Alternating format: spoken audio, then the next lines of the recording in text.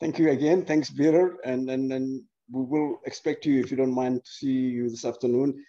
Yes, sure. the second talk of our uh, presentations, our event today, and I want to welcome the Dr. Carsten from Monash University.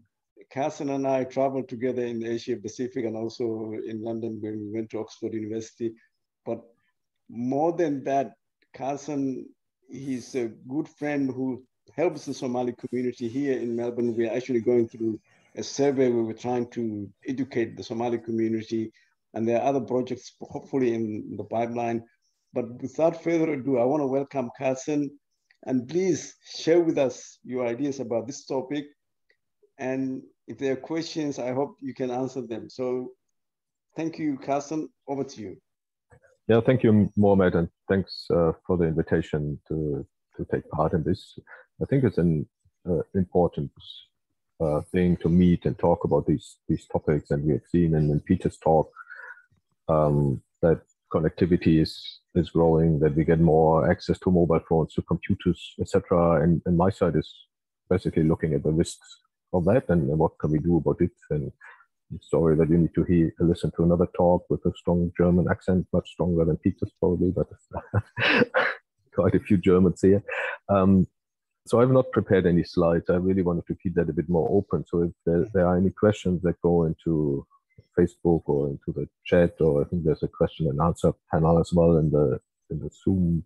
So anything that comes up that I can see, or maybe Mohammed can see, and, and then ask mm. in between, uh, we can we can change what I talk about and, and really talk about that. Um, so I'm I'm Carsten, and I'm an associate professor for cybersecurity at Monash, and I'm also the head of department for software systems and cybersecurity. But probably more relevant is uh, that I'm the director of research for the Oceania Cybersecurity Center, and that's where think Mohammed and and myself we have traveled a bit a bit in that context across the Pacific region because that center works with countries across the Pacific Islands mainly on supporting them with their uh, national cybersecurity. And these many of these countries are very different to Somalia, much smaller, um, less population, but also spread out a lot. And but they share that the connectivity is increasing. We get more cables, we get more bandwidth, we get more services online, payments online, money transfer, remittances, all these kind of topics we also have in the in the Pacific region. So I'm quite familiar, I think, with some of the things, also in a very different context. Um, but what I really want to do is maybe tell a few stories and then see what kind of questions come up. And uh, and the first thing I want to talk about is is really we, we have this idea that cybersecurity means that there's these hackers sitting somewhere and they are really tech savvy people. They they know exactly how computers work. They can program very well and they can hack into your computers and and we kind of feel that they are much much better in understanding how computers work than most of the people are and, and we can't really do a lot against it. And and i would like to argue a bit that this is not actually how things work that much. I mean these kind of people exist. We have these state-based hackers who who know about vulnerabilities that we don't know about um, and, and who can do interesting things in hacking into computers but that's not the majority of the problems we have. And I, I want to start with a small story from the time before we had computers at home and before we had mobile phones. It was actually when I was in primary school in, in Germany. And we had telephones that had a cable that was coming out of the wall. It was not even plugged in because that was owned by which was called Deutsche Bundespost at that time, which now has been split up into telecom and other areas. So the German post office, basically, the national one, would provide you a telephone and they would kind of own the cable as well. So you're not really allowed to touch it. And at that time, um, mother of a good friend of mine, when I was in primary school, she suddenly came to our home and she said, Ah, can I use your telephone? My telephone is not working. I need to call the Deutsche Bundespost, the German post office, to get it fixed. And my mother said, Yeah, of course. Yeah, go use my telephone and, and you can call them. Yeah, but, but what happened? And she didn't really want to tell. And, and then after a while, she she told and she said, Yeah, it's, yeah she's really embarrassed. But somebody called her on the phone and explained, yeah, they are from the German Bundespost, and there's some technical issues with her phone, and they need her support in it. And the thing that she needs to do for them to test their phone is to take scissors and cut the cable. And this was, of course, a really stupid joke and scam. And but she thought, yeah, that's some guy from the German post office, and he he's an authority in that, and, and he knows what he's doing. So she took scissors and cut the cable. Of course, she she had no phone after that, and and that's that's kind of um, where she trusted that person because that person claimed they are from that post office, and um, and she did something that that is really the principle. If you think about it, is rather stupid because you would know after that your phone would no longer work and you would need a technician to come to fix it. Mm. But you did it anyway. And and I think a lot of the scams that we have are kind of on that level, except that this one was just basically somebody joking around, trying to just because they could do it, tricking people into doing something stupid. But now people do that kind of level of scams to get money, like to get financial gains. And um, and I know personally in my um, family and also friends, I know a few people who who kind of fell for these kind of scams. And it is people calling, claiming, well, in Australia, I'm from, from Telstra, and we can see from your internet traffic that your computer might be infected with some bad mm. virus. And that seems to be a credible story because, I mean, they are the tel- telco, so they can see my internet traffic. Sure. So in principle, theoretically, it would be possible to scan it for malicious behavior, except they don't. There's no service with Telstra where they would kind of be friendly enough to call you and tell you that your computer is infected. It just does not exist. So that person will call you and and trick you into doing something with your computer. And uh, and the same is with the people claiming coming from Microsoft. And they tell you, look, your computer is providing uh, information to Microsoft. And it does. Well, it provides information to Microsoft. So, so it's a credible story that they come with and say, okay, from that information, we can tell your computer is infected. Mm. And then people don't think about, yeah, Microsoft actually doesn't provide that service. And they also don't know that my phone number is connected to the computer and they so there's a lot of things wrong with that story but still people are um, surprised they are anxious about what's happening with their computer they use it for banking and, and whatnot. So they they follow what the people tell them. And but it's and this is you don't need to have a lot of technical knowledge to do that. You need to be trained in uh, being convincing to talk to people. And there's um, it's more like organized crime rather than highly technical people sitting there and, and, hacking into your computers. And I think this is where we need to understand how things work and where things go wrong and where people lose money on mm. on these kind of scams. And then we can also start about thinking where to uh, what can we do to prevent it. Mm. And and that's the that's where some of the tricky parts come in, I think. Um, um, hello, Carsten. So, yeah.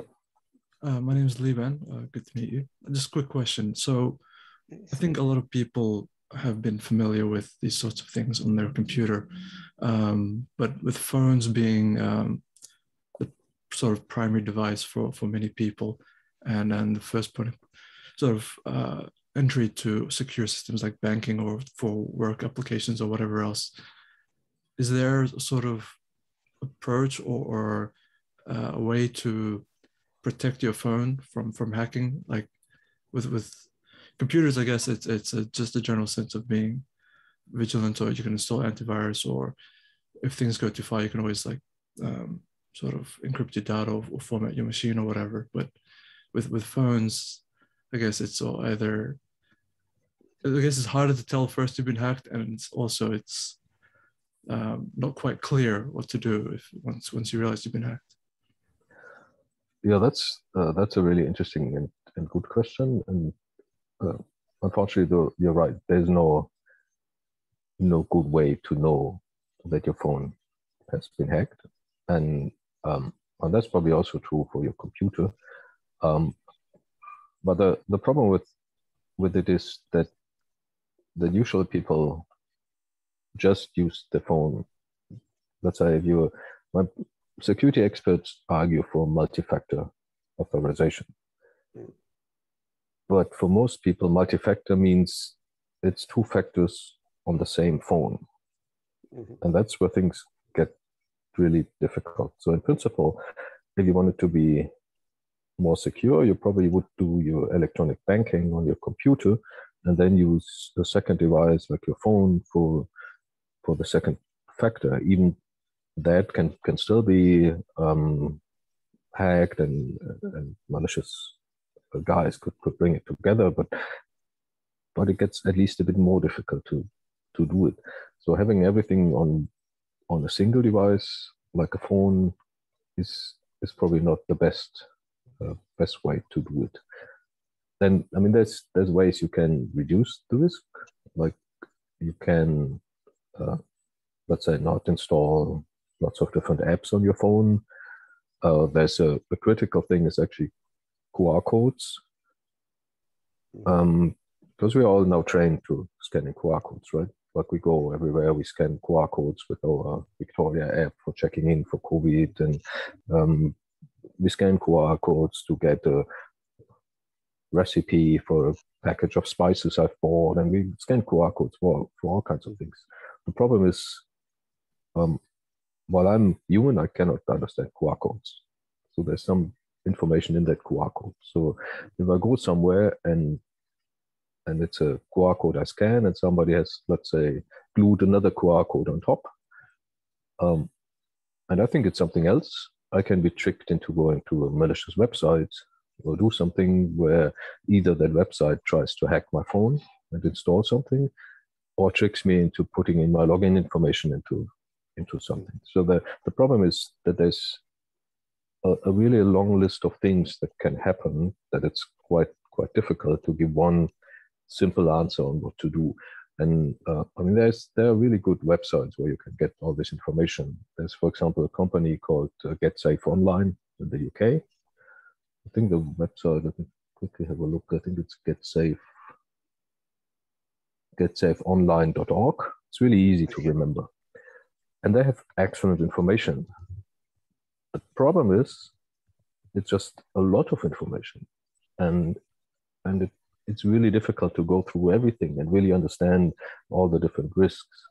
So unfortunately, the the short answer for your question is there's no kind of easy fix for that. There's no antivirus software that you can install on a phone or on a computer that would kind of detect all the different things uh, that can happen because there's always new stuff coming up that that the antivirus will not find. And even we had cases where antivirus themselves had vulnerabilities and could be exploited. So it's unfortunately it's, it's quite difficult.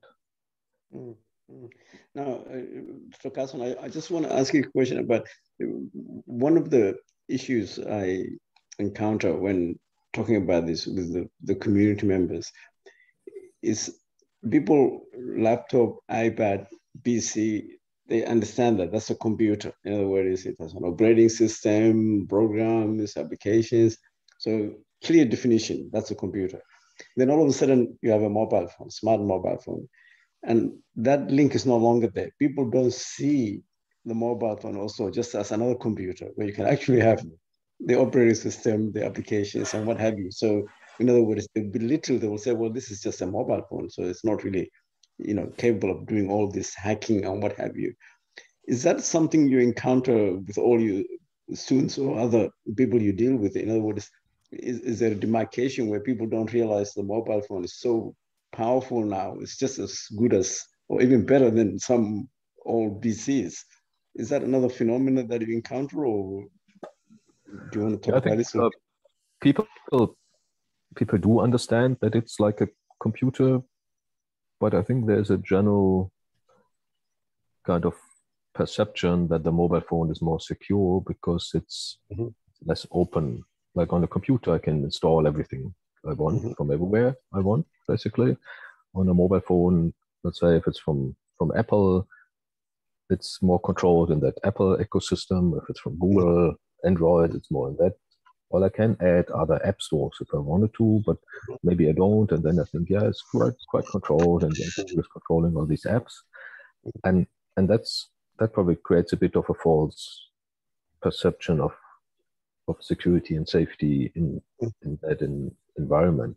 And, and we have seen there are tools that are, for example, used by police and secret services, intelligence to, to hack into iPhones and, and also Android phones. Um, so there are vulnerabilities that that can be exploited, and and if um, let's say the, the official organizations or agencies in our country where we might have a particular level of trust in them that they will not do it with my phone and they will not steal my money and and that they can do it there's also the question whether also the the bad guys the criminals can might be able to do it as well even if that technology is in principle controlled but it shows us that there are ways to do it and and i think we need to we need to have that understanding that we need to assume that some things can happen to it. If I use it to transfer my money, um, maybe I need to double check that I transfer to the right person, that I don't install apps for money transfer just because they claim to be cheaper, where I don't really know what's behind, and uh, and maybe I uh, I don't transfer all my money in one one step and, and lose it because it, it, was some some dodgy app to, to do it. And, and, so I think we need to kind of have a bit of a understanding of the risks behind mm. the yeah. system. Yeah. Yeah. Now I want to uh, ask you. I'm getting a lot of questions, but they are related to that uh, questionnaire. We asked the community about getting some feedback which is okay. That's very good. And I think maybe from Masita will probably later on answer those questions. But the one that I'm interested in, someone mentioned, is about cybersecurity at a national level, which now reminds me about that Oxford project uh, about the CMM, um, the maturity model. Now, do you want to talk to us a little bit about this? Because a lot of people are interested, but no one really knows what is it all about or I think in Somalia they've already done it, or I'm not really sure. I haven't seen the report. So can you please tell us a little bit more about that? Yeah, um, the our collaboration with Oxford, which is now going on for a bit more than three years, I think, um, uses a model that was developed by Oxford together with, with other partners, which is called the, the Cybersecurity Maturity Model for Nations. And and the idea is maybe some people are familiar with that ITU cyber security index, which basically for each country gives like a number and you can see where your country sits compared to other countries. And it uses a few indicators for that. It's basically like a desktop research thing to to compare the countries. So the the model that we use is not that kind of index. It's not to compare countries It's really about um, analyzing in detail the cybersecurity maturity for that nation and then develop recommendations that are specific for that nation and and not for comparison with others. And and uh, there's probably two important aspects to it. So the first is it's not just based on um, desktop research like publicly available information. The main source of information is by talking to people, relevant people in the country. So the way it works is if there's no COVID and we can travel, that uh, a team would travel to the country and would spend there most of the time four days up to a week maybe, and with a lot of work before, together with the government, uh, we would get people together into focus group discussions. And and these people are across all different areas that are relevant. Think uh, education law, uh, police, um, technical cybersecurity, cybersecurity, the computer emergency response, um, telecoms, financial institutions, etc. So we try to get really that wide overview, and then um, we run these focus groups session that are all recorded, and um, and we have a long list of questions that we go through, and then we can have open discussions in it as well. And then we take all these recordings and analyze them, transcribe them, and then from there we we combine that with the available material like existing policies, laws. Some countries have joined the Budapest Convention, for example, and they have the framework and regulation around that. And some have education in cybersecurity, others don't. So we collect all that information, and then a report is written that is probably around 150 pages, quite detailed recommendations. And this goes to the country and is reviewed there. Um, before it goes also to a technical board of Oxford so that the quality is remained very high. And then the country can decide what to do with it. So we don't own that report, it's owned by, by the nation. So they can decide whether they want to publish it, bring it into their discussions in the government, act on it, uh, build policy out of it, just take up a few recommendations. So there's lots of different reactions. Samoa, for example, has published the report and basically taken up all the recommendations in it to turn them into policy and and and that other countries are a bit slower in it. Um, and and this process has been applied to I think more than 80, 84 or 87 countries all over the world. And I think Somalia has done this kind of exercise but in a remote way and probably in a less um, strict way than it would be possible if you are actually in the country and you can get the people people together. But it's at least as a first step. And I have not seen the the report because well, it's usually it's a confidential data, so it was not us doing it. I think it was the uh, Oxford team and the people in South Africa together doing this. Mm. So that's, uh, but it's an important exercise because it can really show you where can you start with the next step in improving security on a national level. Like what kind of legal frameworks do you need to to even get a computer emergency response team operational, um, and and that all that kind of questions are discussed in that report. Mm. Well, that's very very useful to know because uh, a lot of people were actually asking about this. So I will forward that information and say, look, our property will watch you what you are saying. So if the Oxford people and the South African group help Somalia, so hopefully we'll get that report published, and it might also help Somalia secure its own uh, IT environment and so on. So that's very good uh, news to know. But but I think the same thing happened in South in the Pacific region. So is that now all done? Do we know? No, any... it's, a, it's an ongoing ongoing project. We have so far we have worked with uh, seven countries um, across the Pacific region, like uh, Samoa, Tonga, Vanuatu, Federal States of Micronesia, Papua New Guinea, um, Tuvalu. Don't know if I've left one out.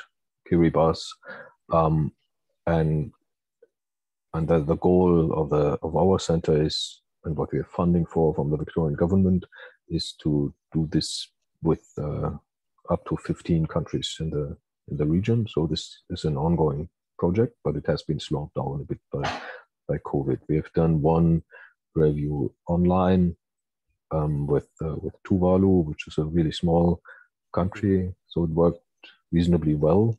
But it's it's definitely better to do it uh, do it in person. So we hope that next year we might be able to take up uh, more speed and, and, do it in person again. And now, um, well, the, the thing is, you can't do the review and then go away and say, okay, now you've got the report and yeah, be happy with it and you go on. So, um, countries in the Pacific also need um, support in, in then building capacity and going the next steps.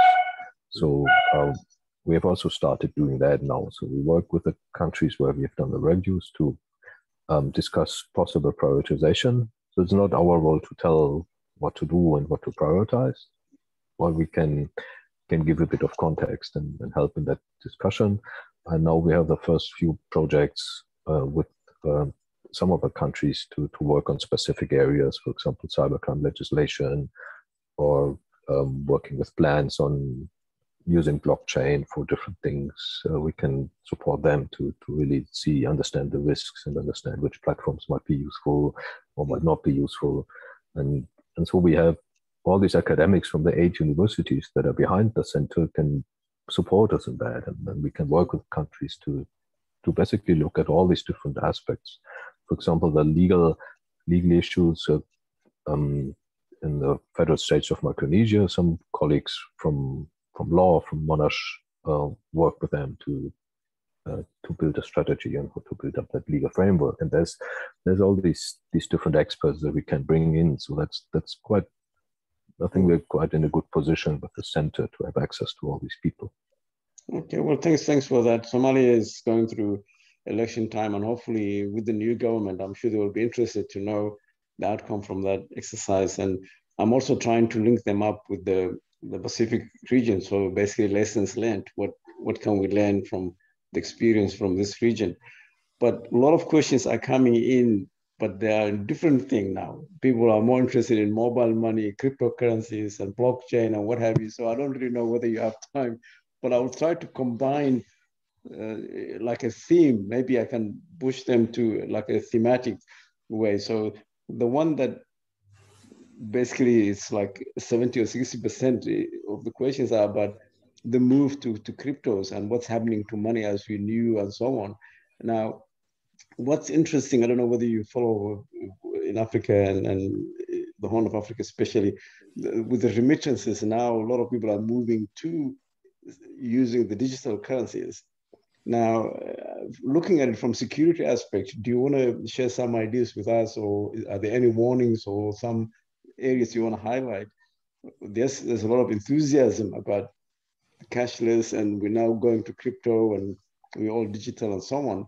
But from academic point of view and from Monash and the people who know more about this area, do you want to share with us your ideas? Are there any warnings and anything you want to highlight or, or anything else you want to share with us in that area, please? There, there seem to be a lot of questions about this. Yeah, it's a, it's a really complex and fascinating area and we probably could spend the rest of the day talking talking about it and, and it's not there's no easy answer for that. So I, I think the first thing is is really fascinating and it's there has been a lot of very interesting developments and we have seen now over the years that um, at least the the concept of the of the digital currency based on that distributed um, structure of blockchain has shown to be relatively stable. So it, it seems to work. So there have been no kind of dramatic problems with that principle. Um, but there's a lot of things to be considered. So, so I think the, the first very pragmatic one is that you put your money into blockchain. Um, but then how do you how do you pay with it? Like um, where where do you use that kind of money? Because um, it's not that you go to shop and you pay with your with your crypto currency. It's it, it's not accepted in many places, and it's also not not extremely practical to use. Still, it's also slow. A lot of them, and and so it's eventually you probably need to change it into a fiat currency, and that's where where the interesting questions come because the the exchange rates are extremely um, dynamic. And um, at the moment in many cases in the long term the the value of the cryptocurrencies went up but it also went down dramatically in between and that can happen all the time and it depends a lot on political decisions by the government. So it's not only the market controlling it it can be changes in regulation can can make dramatic differences and and you don't really have control over that so there's um, there's that caveat that let's say putting all your money into into crypto um, you need to understand that that it's a it's a quite volatile market, which can change very, very quickly. Um, the second thing is that um, in order to interact with a blockchain, usually would go via some exchange. And, and that's another security issue that, that you basically depend on that exchange. Because they could um, basically access your money. It's a bit like a, you need to have the same level of trust like into your bank, but it's not the same level of regulation. And and that is where where things get a bit bit tricky. Um, and and you need to understand that uh, basically your exchange has that kind of power over your money in many cases right so so it's um but that i mean that doesn't matter if it's kind of like your usual cash that you use like not not a big amount of money that you put into a into a blockchain but it might be might become a bit more problematic if it's um, basically your main uh, way to keep money. Mm. and and i mean regulation is uh, catching up and there's things happening. And also some of the the banks have started in australia have started now acting a bit as ex- exchanges and and that. So they try to play in that game as well but they're far from being as strong as the bigger exchanges mm. that we usually yeah. we use for that. So it's it's a moving moving thing. And then finally there's also there's so many different cryptocurrencies out there that is really difficult to keep track track of. And there are a lot of scams in that world as well. Like just recently there was one that people came up with that didn't even have the mechanism implemented to withdraw your money or use it or sell it. so still people invested into it. so these people made a lot of money and, and then they said, yeah, sorry, okay, it's now gone because you can't actually do anything.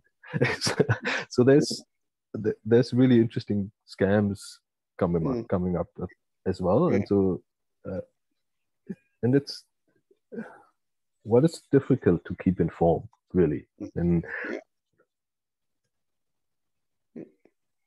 so i don't know if there's specific questions around that that yeah. have. no yeah. See the, the, what happened was in the specific case of somalia uh, sometime back a year or two years ago there were serious problems in, in that sector because there were people who were abusing the word forex you know, we know now part of the world what forex means and their rules and regulations and markets and what have you.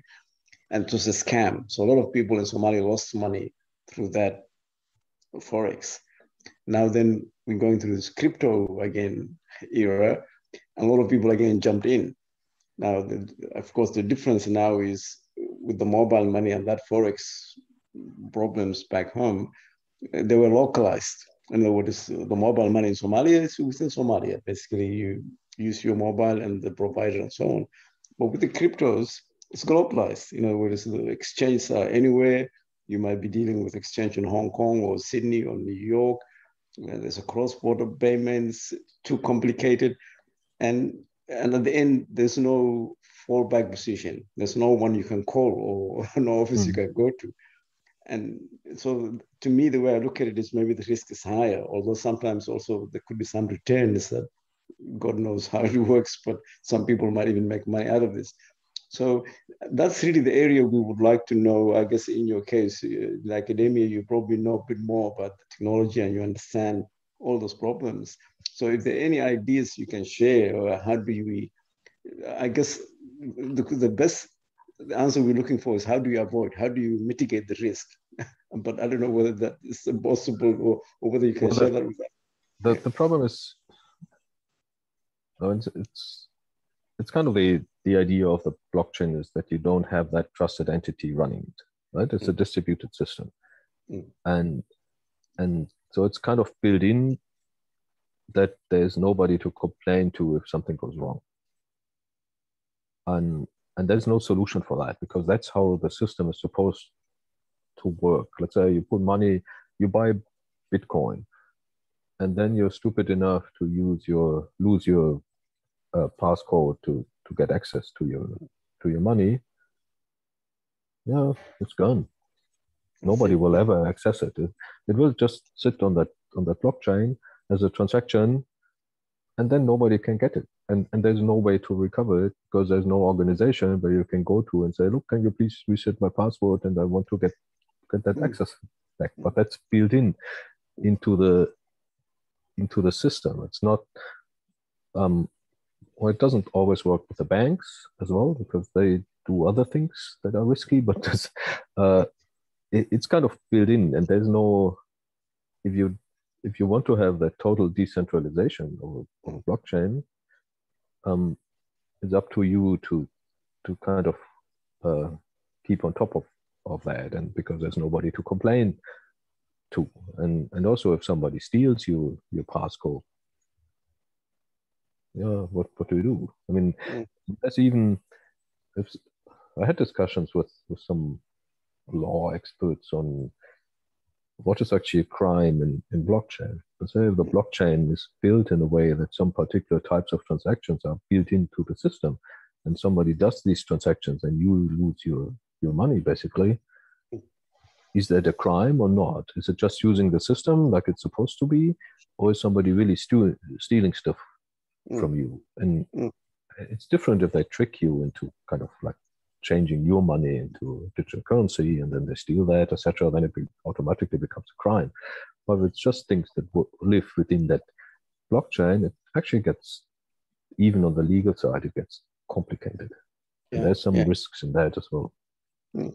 No, that, that that that is very interesting point you raised. See, I also spoke to a lot of people about this. I'm actively involved in this for different reasons, and again, from the legal aspect, the, the definition was when something is stolen. In other words, digitally, can you actually steal something?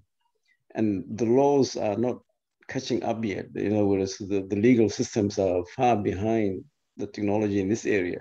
So the example I was giving to, I, I almost laughed, but it was actually serious. I couldn't laugh. The guy said, look, if you have a Word document or a photo or some digital entity, and I take that from you, but you still have it. I have only and I only got a copy, so I didn't deprive you. In other words, you have your thesis or your book or whatever it was, or your art that you spent years drawing, but then I got a copy. So he, legally speaking, he said nothing's stolen. You know, words, stealing. The definition of a stealing is you're depriving someone mm. something they own. I almost laughed. I said, "Look, isn't that a joke?" He said, "No, it's not a joke. That's where the law is." so yeah, but I mean, that, still catching up. Yeah, please go ahead. Yeah, for for that example, there's now we have other laws for let's say copyright, intellectual property, uh, that kind of things.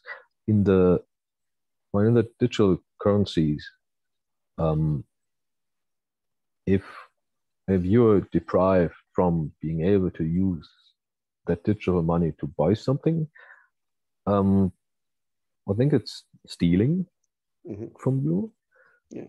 But then it's the question: you what kind of because there's no there's no contract with that digital currency. So who who kind of guarantees for that digital money in, in some way yeah. and and what's kind of the basis of of that yeah. that transaction uh, that you might have like if i have uh, cash. When there's strong regulations around cash so kind of the government guarantees that that cash has some kind of value and and so if it's stolen it's very clear.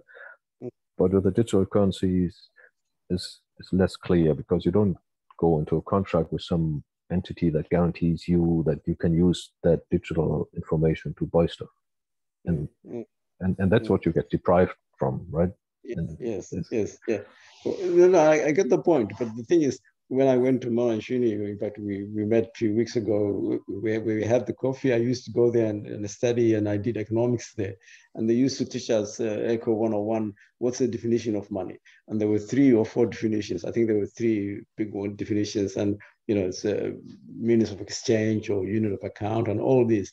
And as I walk back decades later at Monash, those definitions I think need to be redefined now because I don't think they're valid anymore.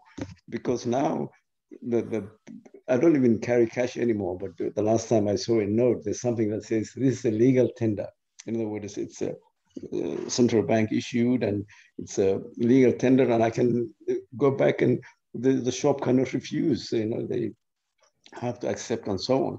Now, and if I lose it or if it's uh, if it's a torn or something, I can go back to the bank and get another one or all those other norms and, and, and possibilities.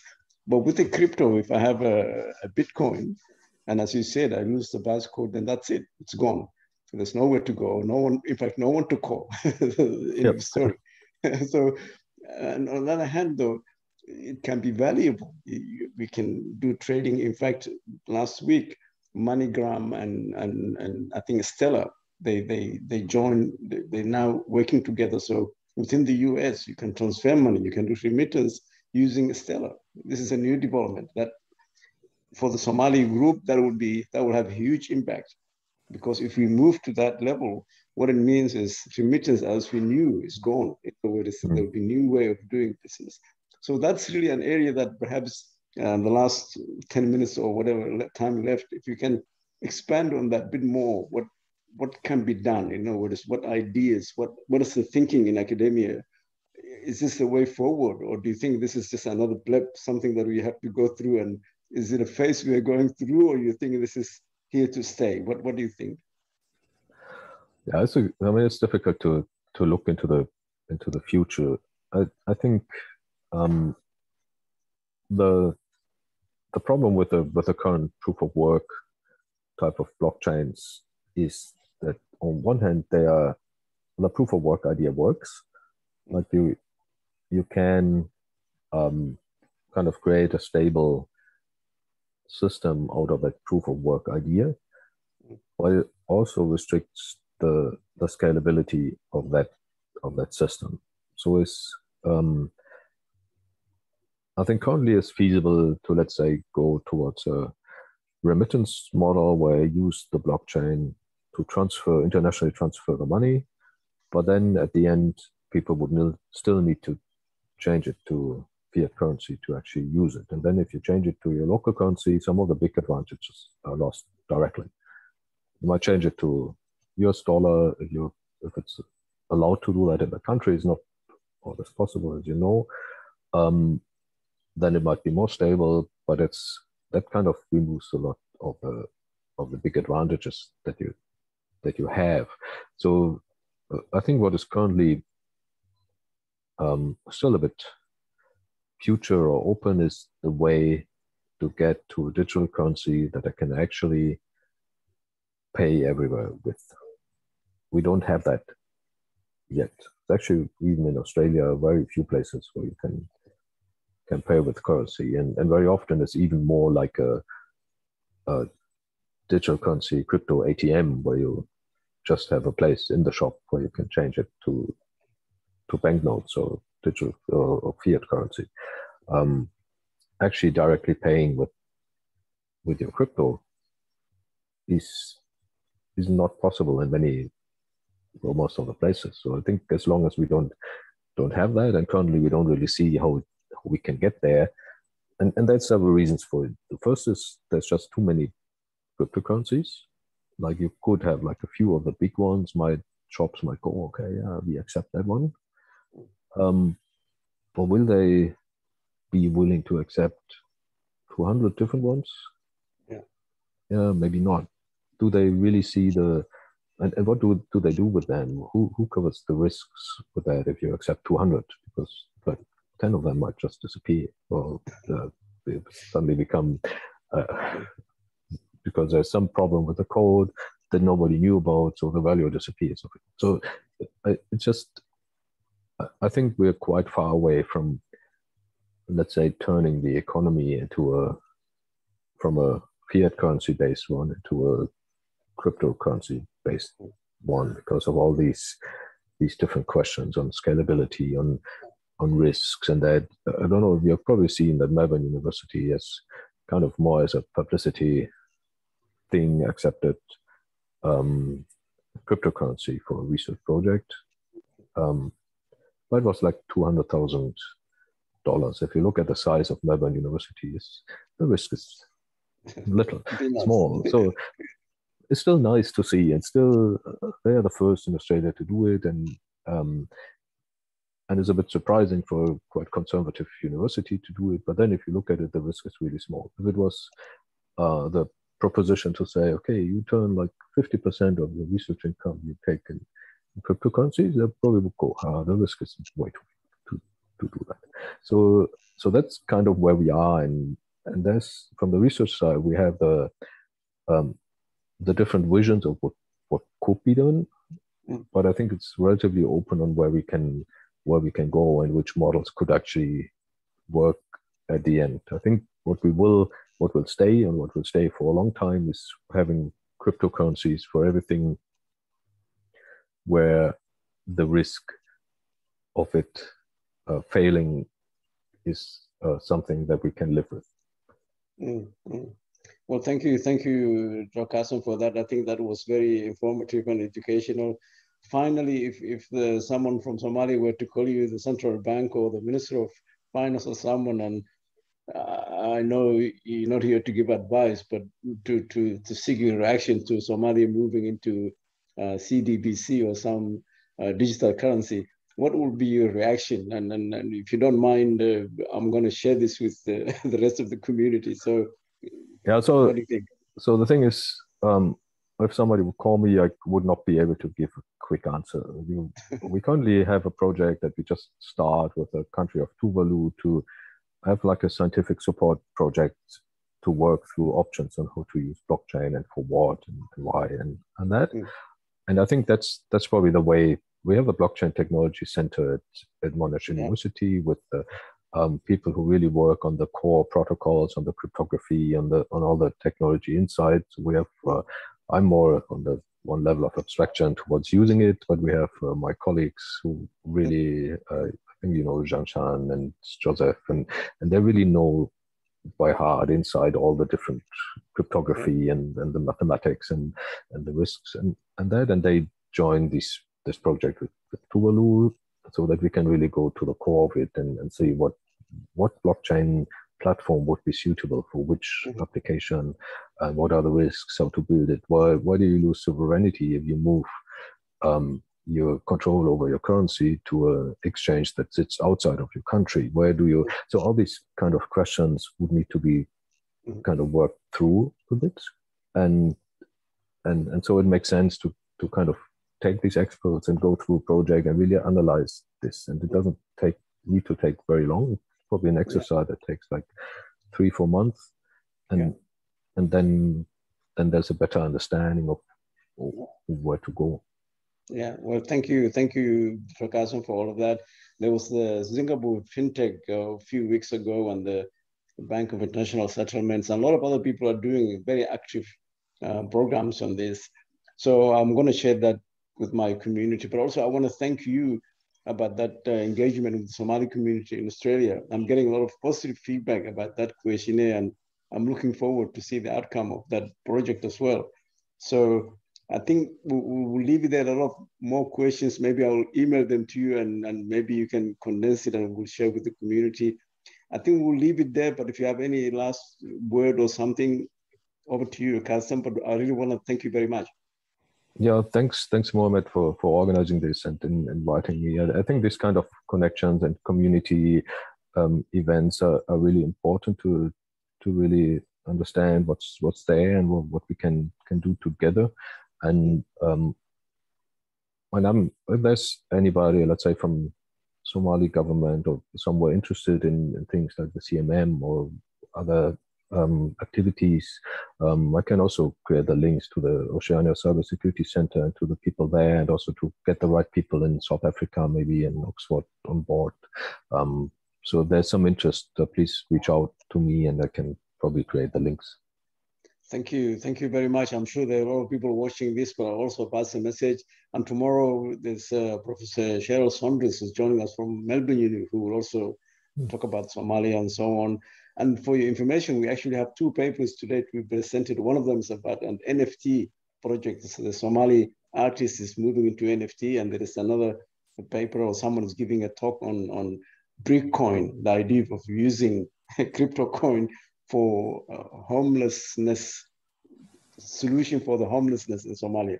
So interesting things are happening. I'll keep you informed and you're quite welcome to join us later on and also tomorrow morning if you have time. I want to thank you again on my behalf and on behalf of the Somali community here and back home. So thank you. Thank you very much, Dr. Hassan. Thank you very much for your time. Uh, great pleasure to join. Thank you. Thank, thank you. you. Okay, well, well, we'll continue. You're welcome to stay. We, we, I think we'll have a break now for 10, 15 minutes and we'll come back.